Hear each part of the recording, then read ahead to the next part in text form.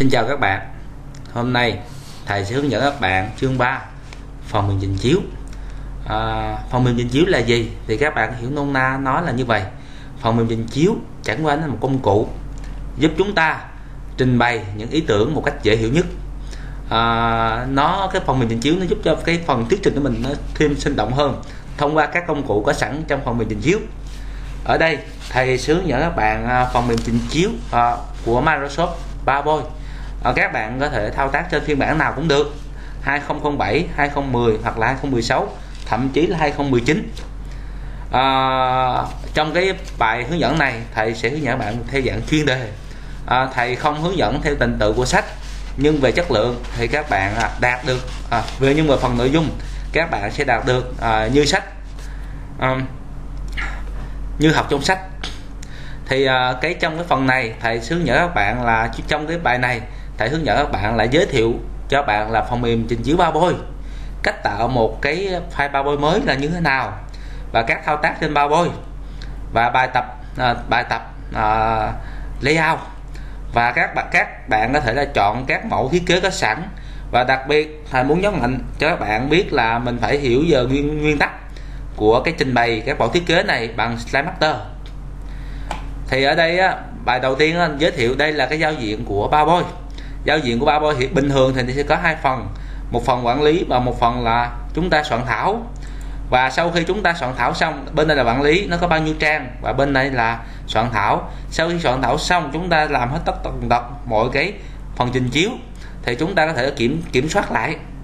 Kiểm soát lại là chúng ta trong cái bài trình chiếu này chúng ta có bao nhiêu bao nhiêu trang? Và mỗi trang thời lượng bao nhiêu? À, các cách bố cục này có hợp lý hay chưa? Nếu mà tất cả đã đúng rồi thì chúng ta sẽ trình chiếu. Còn nó chưa có đúng thì chúng ta uh, edit lại. Rồi ở đây á trong quá trình làm á trình chiếu á, thì cái uh, phần mình trình chiếu này chúng ta nên đưa ra những ý chính. Chúng ta không không nên ghi quá chi tiết trên một cái trang trình chiếu. À, chính vì vậy chính vì không có ghi chi tiết nên chúng ta rất là dễ bị quên. Thì chúng ta có thể là gì đó ghi chú. À, ghi chú trong này ghi chú. Những cái gì mà chúng ta sợ quên thì chúng ta nên ghi chú lại. Sau khi làm xong mọi chuyện chúng ta trình chiếu nó ra. À, cách trình chiếu là như thế nào? Ở đây á, thầy sẽ hướng dẫn là cái ý nghĩa view của nó. Đầu tiên view thứ nhất là view. View nó là như vậy này à, một bên là soạn thảo và một bên là quản lý. View thứ hai là sau khi làm xong chúng ta kiểm soát lại tất tần tật mọi thứ những gì chúng ta cần. À, sau đó chúng ta à, kiểm soát ừ mình cái trang trình chiếu này có bao nhiêu trang? Và cái uh, hiệu ứng như thế nào và thời gian chạy là bao lâu và cuối cùng là chúng ta show ra màn hình này là chúng ta show ra nè các bạn chúng ta show ra thì ở đây á khi chúng ta hiểu được cái kỹ thuật view của nó rồi chúng ta muốn tạo một trang trình chiếu mới là chúng ta chọn file new chúng ta chọn bình lăng à, thông thường ở đây là khi mà chúng ta tạo một trang trình chiếu mới thì uh, nội dung của chúng ta là có bên đây là cái trang bên đây là một phần là chúng ta thiết chúng ta edit còn mình là chúng ta kiểm chúng ta quản lý là có bao nhiêu thằng. À, ở đây chúng ta soạn thảo à, chúng ta quản lý. À, nếu mà chúng ta muốn tạo một cái slide mới là thông thường các bạn nhấn new. Nhưng mà thì khuyên à, các bạn nhấn new thì à, nhiều lúc nó sẽ không đúng với ngữ cảnh của chúng ta. Chúng ta nên chọn là mũi tên phía dưới new. À, new slide. Chúng ta nên chọn là cái kiểu cái kiểu bố trí ở cái cái kiểu bố trí của nó. À, khi mà chúng ta muốn trình bày một vấn đề gì đó đầu tiên chúng ta phải phải tìm ra bố cục. À, bố cục nào cho hợp lý. Thậm chí trong đây nó có những bố cục có sẵn. Nếu mà chúng ta không có thích những bố cục này thì chúng ta có thể là tự tạo cái bố cục mới bố cục khác. Thì khi các bạn tự tạo bố cục khác thì thầy hướng dẫn bài sau. Ở đây à, chúng ta tạo những bố cục này. Ví dụ ở đây chúng ta muốn tạo những cái à, mới nhưng mà chúng ta mới muốn tạo là cái một cái file nào đó một cái cái à, slide nào đó nó có sẵn rồi. Chúng ta nhấn duplicate select slide. Là cái chức năng này nó cho chúng ta tạo một cái cái slide mới y chang như slide chúng ta đã chọn. Hoặc là chúng ta có thể là chọn một cái cái nguồn ở nơi khác đến. Ha real slide à, chọn một cái nguồn từ nơi khác đến. Là new. À, reply ở đây chúng ta có thể chọn là gì ta? Slide from outline. Thì ở đây á, là chọn cái slide mới từ bên ngoài vào thì bây giờ thầy sẽ mô phỏng các bạn à, những cái ví dụ này cho các bạn thấy. Đầu tiên thầy mở cái file Microsoft PowerPoint.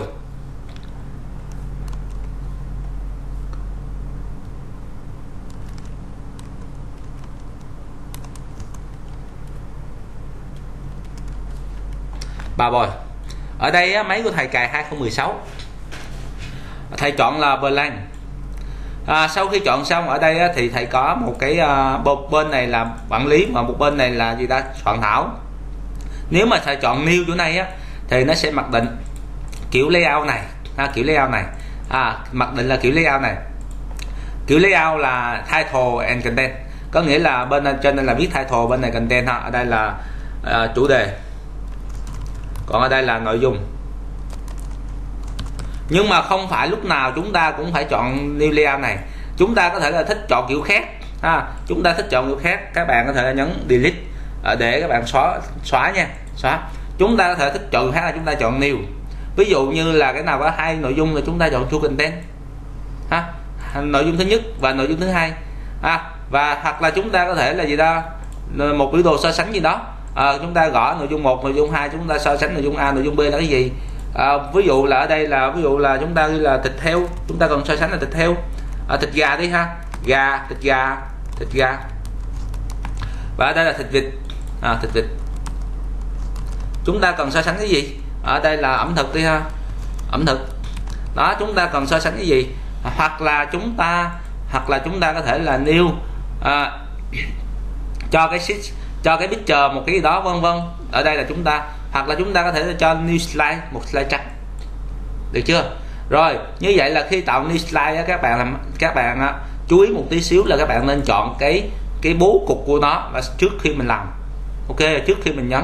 Rồi ở đây là chủ đề nếu mà các bạn muốn tạo một cái trang mới y chang như vậy y chang như vậy nha các bạn thì các bạn chọn như thầy là cái duplicate select. Có nghĩa là mình chọn một cái trang y chang như trang này. À, giống y chang nha rồi nó sẽ tạo một trang giống y chang. À thầy tạo lại nha. New. À, duplicate. Hoặc là bạn muốn tạo một cái trang nào đó từ bên ngoài. Nếu mà các bạn muốn tạo một cái trang nào đó từ bên ngoài các bạn chọn lên gì đó.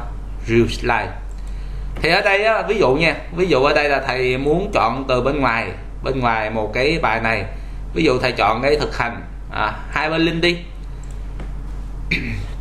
Khi thầy chọn hai bên link đó thầy xóa bên này tí xíu ha à, thầy bên này này nó sẽ có rất là nhiều trang thầy chỉ cần nhấp vào là thầy sẽ sẽ chọn. À, thì nó sẽ vào bên này cho mình. Ok chưa? À, hoặc là thầy nói lại nha thầy muốn tạo cái từ bên ngoài vào thì chúng ta chọn là gì ta? Real slide. Ở đây á, thầy chọn cái cái khác. À, thầy chọn cái trang khác. Ví dụ là bài giảng photo album đi. Ok. Thì ở đây á, các bạn chọn ha nhấp vào thì nó sẽ ra cho các bạn ha, ra cho các bạn. Photo album hoặc là các bạn muốn tạo một cái slide từ cái outline nào đó. Ví dụ như thầy có một cái outline.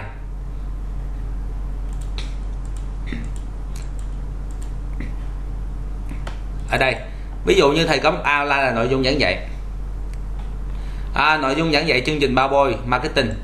À, là cái gì? Ok ha. Thì sau ví dụ như thầy có cái uh, nội dung như thế này? À, thầy muốn tạo mới một cái pha bôi giống y chang như vậy à, mà chia ra từng outline riêng. Thì ở đây á, các bạn cứ làm y chang.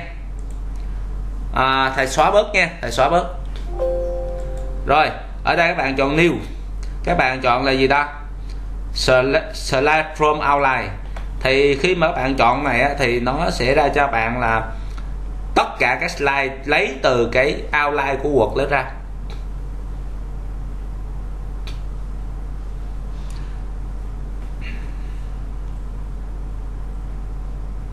Nó hơi lâu tí các bạn.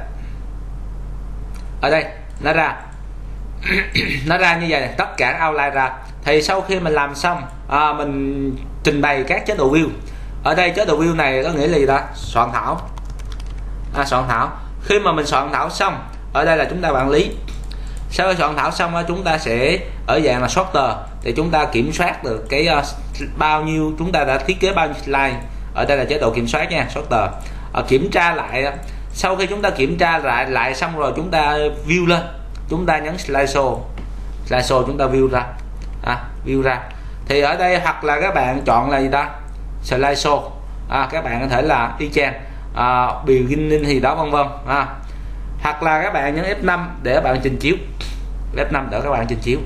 Như vậy là thầy vừa hướng dẫn các bạn cách tạo mới một cái trang ba bôi à, bằng cách là gì ta? Đầu tiên chúng ta vào cái chương trình bảo bôi. Và sau đó chúng ta chọn blank recitant recitation ở đây chúng ta chọn cho thầy là new à, new slide ha. À, new uh, new cái gì title and title and, title slide hoặc là title and content.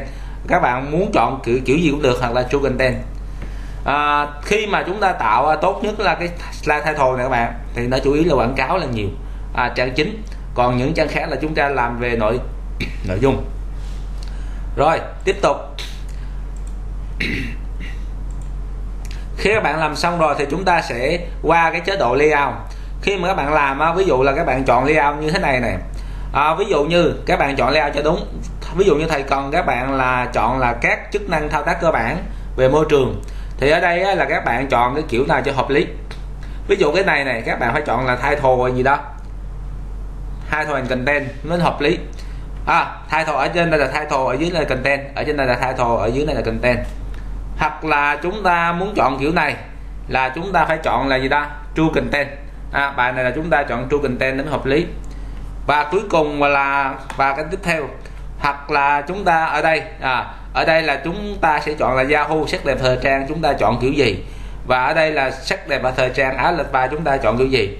Thì bây giờ thầy sẽ hướng dẫn các bạn làm một vài bài tập về layout để các bạn thấy và sau đó mình tiếp tục. File. New. Ở đây cái slide đầu tiên là chúng ta chọn là các chức năng thao tác cơ bản à, ở đó là chúng ta ví dụ ở đây chúng ta lỡ mà chúng ta chọn ờ, layout của thằng title slide rồi chúng ta muốn chỉnh lại là chúng ta chọn layout. Chúng ta sử dụng là title content. Ở đây chúng ta chọn là gì đó các chức năng cơ bản. À, các chức năng cơ bản ha. Thầy coi thử coi nó nằm ở chỗ nào?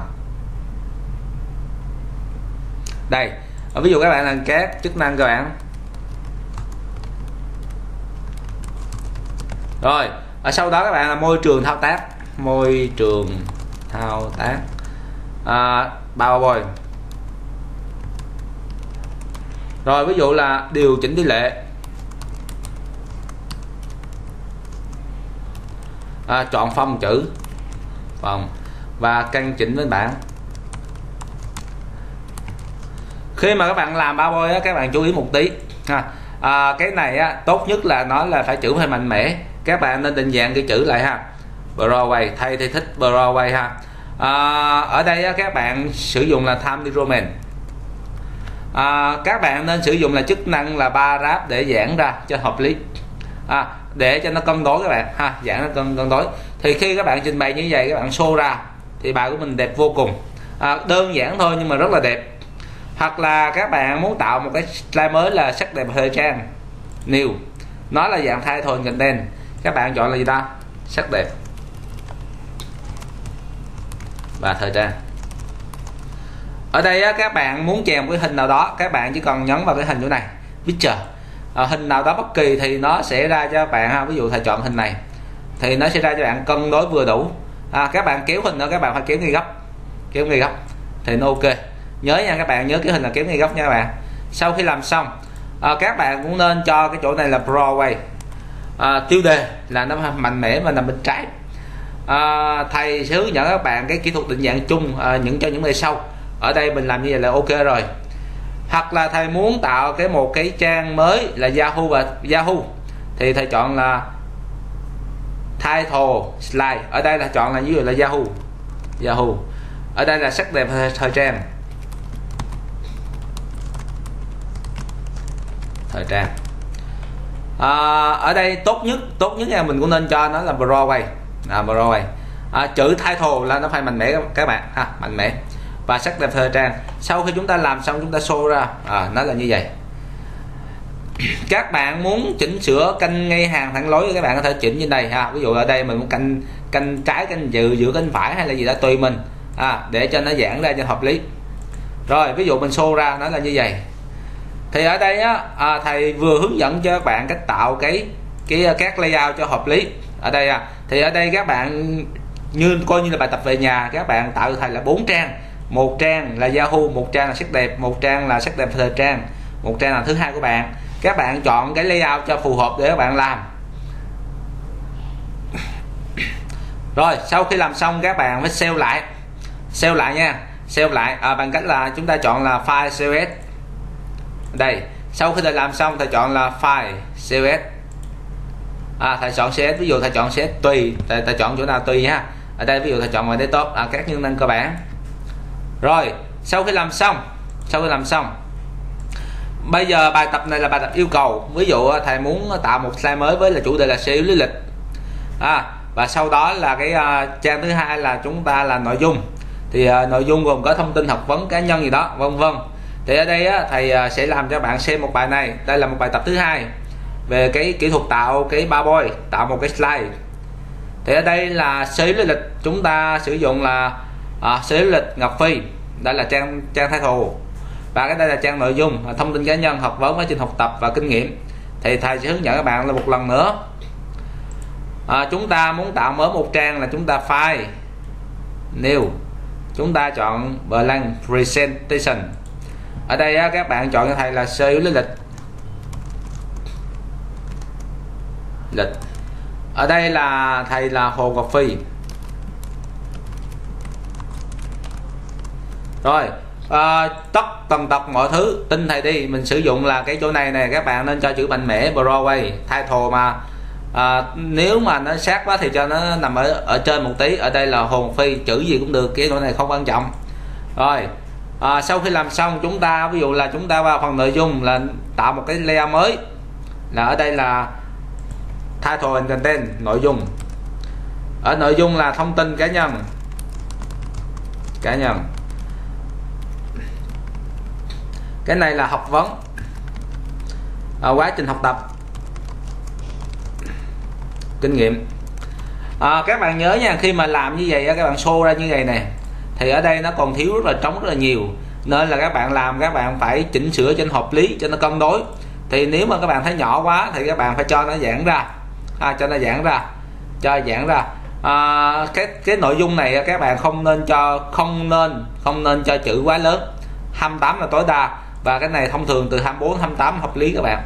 À, nếu mà chữ ít thì 24 mà chữ nhiều là nên 28 là hợp lý nhất. À, không nên không nên cho chữ quá lớn các bạn ha và nên cân đối. À, cái khi mình show ra thì mình sẽ cân đối này. Rồi sau khi mình làm xong như vậy rồi bài bài hiểu nó hỏi như thế nào nữa? Rồi sau khi làm xong chúng ta muốn muốn định dạng định dạng cái những cái cái uh, kiểu cho thêm cho nó đẹp thì ở đây chúng ta có thể là chọn design. Trong design này nó có một vài kiểu thêm chúng ta có thể làm ha. Thì ở chỗ này ở chỗ này. Thầy có thể là chọn design. Ở đây nó có rất là nhiều mẫu. Các bạn muốn chọn kiểu mẫu nào cũng được. Ví dụ thầy chọn kiểu mẫu này đi thì các bạn từ một cái bài rất là bình thường các bạn chọn mẫu này thì nó ra rất là đẹp. Hoặc là các bạn chọn kiểu mẫu khác tùy ý. À, mẫu nào cũng được tùy các bạn. Các bạn cảm thấy đẹp là ok.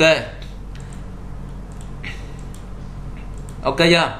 Rồi ở đây à, các bạn có thể chọn cái mẫu nào cũng được kiểu gì cũng được. Các bạn thấy cái kiểu nào đẹp thì các bạn chọn. À, không nhất thiết phải chọn giống như thầy. Thì đây là các kiểu mẫu có sẵn trong cái phần bao bôi. Và mục đích của thầy mục đích của thầy là thầy muốn hướng dẫn các bạn tạo những kiểu mẫu này. Và mục đích của thầy là thầy muốn hướng dẫn các bạn tạo những kiểu mẫu mẫu này trên hợp lý trên hợp lý. À, vì lý do vì sao thầy hướng dẫn các bạn làm? À, trong quá trình mình làm á, thì ở đây là những kiểu mẫu có sẵn. Nhưng mà thường thường á, là các bạn làm á các bạn làm á à, cái nội dung của mình á nó sẽ không có khớp với cái màu trong này design trong này. Nếu mà nó không khớp á, thì các bạn khó có ép nó được lắm. Các bạn phải tự thân vận động làm.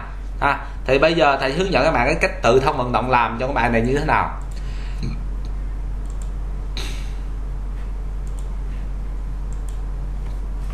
Ở đây các bạn muốn tự thông vận động làm ha thì các bạn chọn cái thầy là cái phần là slide slide master. Slide master này á, là cái phần mà định dạng chung cho tất cả mọi trang. À, slide master là định dạng chung cho tất, tất cả mọi trang. Thì ở đây á, thầy sẽ hướng dẫn các bạn cái kỹ thuật định dạng như thế nào về slide master. Thì bài sau thầy sẽ hướng dẫn kỹ cho bạn về sâu về phần này.